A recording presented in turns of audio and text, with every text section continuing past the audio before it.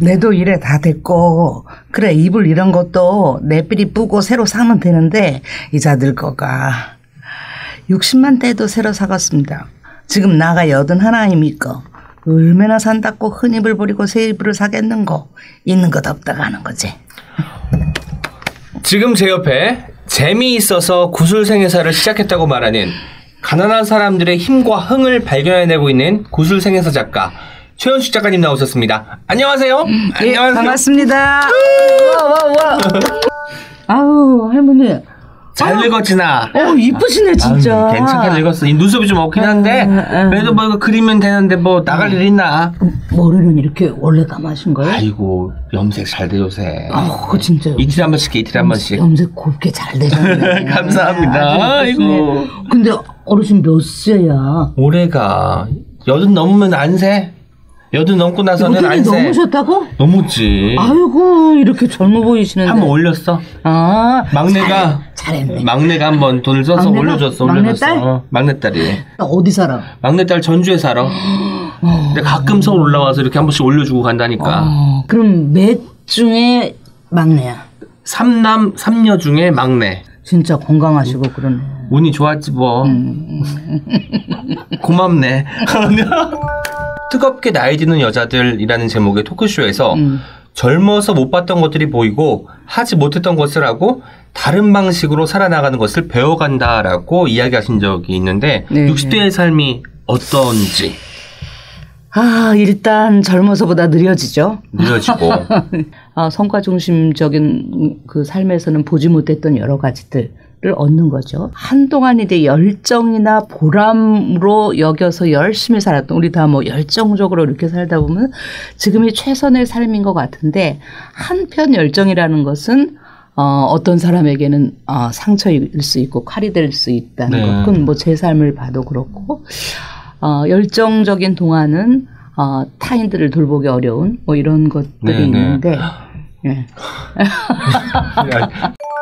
아까 제가 소개해드릴 때 한 번 크게 웃으신 적이 있습니다. 내 맘대로 살았다라는 부분인데 내 맘대로 살았다라는 부분에서 왜 이렇게 크게 웃으셨는지 여쭤봐도 될까요? 어, 어. 우리 엄마가 항상 너한테 하는 소리가 너는 왜 그러고 사냐 이거 하나랑 나도 좀 너처럼 살아봤으면 좋겠다. 아주 딜레마적이고 그러니까요. 역설적인 아, 어떤 두 그렇죠. 마디 말이네요. 어. 저는 이 책을 읽으면서 가장 힘들었을 것 같은 게 녹취 있었던 뭐 에피소드 중에 기억 남는 게 아, 있을까요?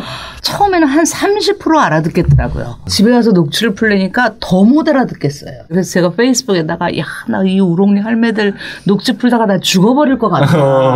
이랬더니 야 정말 내가 평생 살아온 인적 네트워크 중에서 이 대구 경북 쪽 인간 아. 인간들이 내가 하나 풀어줄게 아. 하나 풀어줄게 이러면서 11명이 모였어요. 와. 그래서 그분들한테 첫 번 인터뷰는 거의 그분들이 녹취를 해줬어요. 어, 녹음을 풀어줬어요. 혹은 구술생이 사는 고통의 전시가 아니냐고도 묻는다. 고통을 듣고 공감하지만 내 안의 동정은 차갑게 경계한다. 고통은 당하는 자의 몫이다. 내가 타인의 고통에 대해 무엇을 할 수 있는가? 기껏해야 고난을 살아낸 사람들 속에 이미 있는 힘과 흥을 봐내는 것이다. 라는 부분이 있었어요.